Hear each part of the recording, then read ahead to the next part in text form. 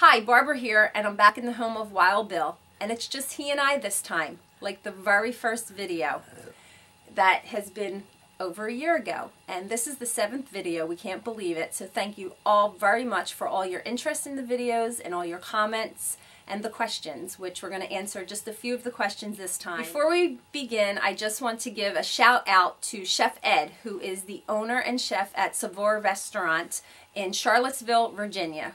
We uh, ate there, my husband and I, a few months ago. Wonderful food. Chef Ed is just a pleasant person, so if you're ever in the Charlottesville, Virginia area, please check out the Savour restaurant. Also, a shout out to Ken West, who Ryan and I met while we were down in Shenandoah National Park.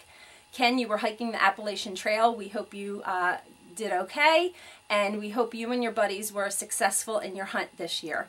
And also, Rafa, hola. The package is on the way. All right, now I'm going to have some questions for Bill. The first one is, Bill, will you be traveling and visiting Europe anymore? That is from Sarah. Not quite this year. I, I think I spent 16 times I visited Europe. I don't think so this year. No plans yet, honey. Okay. Matthew asked if you can tell a little bit about Johnny Martin when um, you and Franny were with him on his honeymoon in Ohio, and uh, what city in Ohio did he live in? Franny and I spent a honeymoon in Columbus, Ohio. And Johnny Martin lived in Columbus, Ohio. He lived on 42 Mays Boulevard in Columbus, Ohio. Then he moved to Marion, then to Phoenix, Arizona. And he died in January 05. And his wife died too, Pat. All right, Pete asks, can you um, tell uh, what was the difference between Winters and Speirs as company commander? Winters and Speirs. Well, Winters was a leader. Speirs was a leader too. The only difference between the two of them, don't smoke a cigarette with Speirs. Okay, and also were Captain Speirs and Lewis Nixon portrayed accurately in the series? Most of the men portrayed in the series is correct, as we remember. All correct. That's what made the Band of Brothers good. Correct. Um, Hale asked, how many K rations did you have for D-Day? Well, we loaded up on everything. And I would say this, probably most of the time everybody lost everything. So we didn't worry about food. We worried more about killing the Germans on D-Day. Um, Trink, who is in the 26th Yankee Division, who will be going off into battle. Uh, Trink, thank you for serving our country. How scared were you when you got into your first firefight with the Germans, and how did you overcome that fear?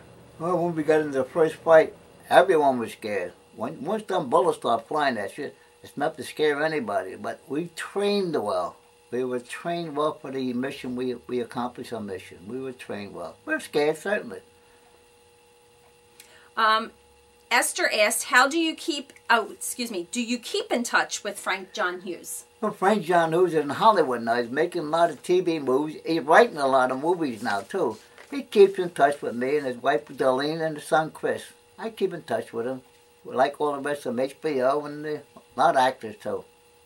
Jordan asked, was it worth joining the military to fight for your country? And do you still think that's true for today for the young men and women to join the military to fight for your country? Well, back in World War II, everybody volunteered for service. Everyone. America was one. Today it's not that way. But I'm proud. I'm glad. I'm, I'm happy to serve my country. Very proud. But for the um, young men and women that want to join the military, would you encourage that to fight for the country today? Huh? What's the price of freedom? Ask yourself that. What's the price of freedom? And then you should answer that yourself. Right. And as you said, you heard, until you lose your freedom, you don't know what it is. True. So, right. And last question for now is Oscar asks, have you ever visited Henry's grave? Yes, I visited Henry's grave. My brother in, in that Tuno Cassino Italy. When I when I went overseas 16 times, I never ever failed to visit the cemeteries. Always pay our respects and remember them all.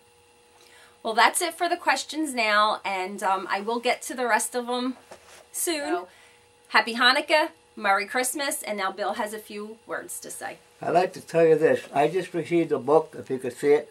It's called The Nightingale of Mosul. It's written by George Love's wife, Sue.